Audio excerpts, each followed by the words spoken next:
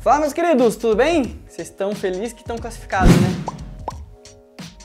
E aí, seus Natan Cachorrão, tudo bem? Vamos aí responder as perguntas que vocês me enviaram pelo Twitter depois do, da nossa classificação contra o Paranada. Vamos responder aí.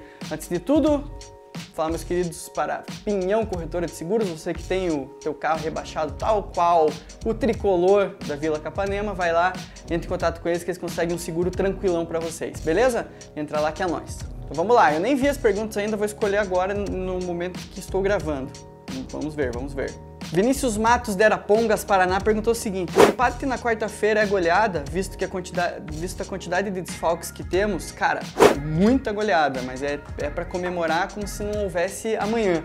Porque a gente tá com muitos desfalques, o Flamengo vai vir para cima, os caras vão colocar 70 mil pessoas lá no Maraca, então, cara, um empate é maravilhoso. O arroba Ranchark perguntou, qual a tua opinião sobre o ocorrido com o Léo?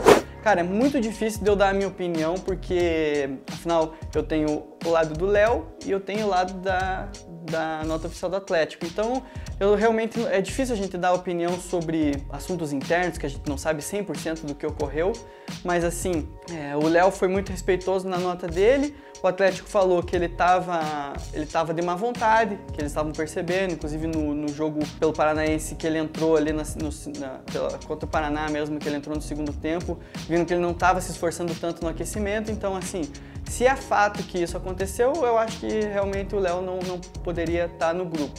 Mas, de novo, eu não posso dar minha opinião completamente embasada porque eu não sei 100% dos fatos, né? Vamos ter que ir com o que a gente tem agora, não tem muito para onde correr. Lucas Bandock perguntou: quando o Paraná vai parar de ser eliminado pelo Atlético? Quando o Paraná acabar. Daí, daí não vai mais ser eliminado. Luiz Eduardo perguntou: e aí, Adé, eliminando o Paraná, que até então era o melhor time do Paranaense 2017, o Atlético tem a obrigação de ser bicampeão? Cara, eu acho muito difícil esses negócios de obrigação. O Atlético tem que tentar ser bicampeão. Esse que é, esse que é o fato. A gente, é, a gente tirou o melhor time do campeonato, a gente tem o título ainda, então a gente tem que pelo menos fazer de tudo para conseguir ser bicampeão paranaense.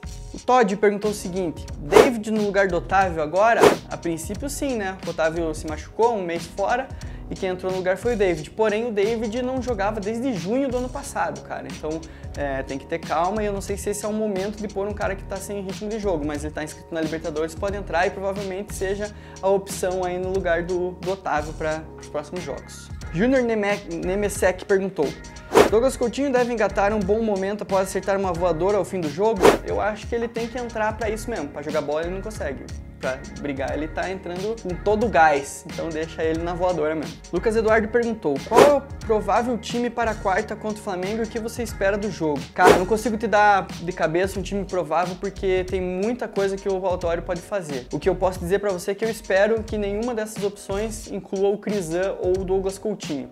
De resto, ele pode tentar o que ele quiser. Ainda mais que as entradas do João Pedro no, no, no, no segundo tempo ali do Paraná mudou um pouco o jogo. Vamos ver, espero que seja, venha uma vitória. Beleza, galera? É, diga aí quanto vocês acham que vai dar o jogo na quarta-feira, onde que vocês vão assistir, contem pra mim. Beleza? Até semana que vem, fiquem com Deus e tchau, tchau.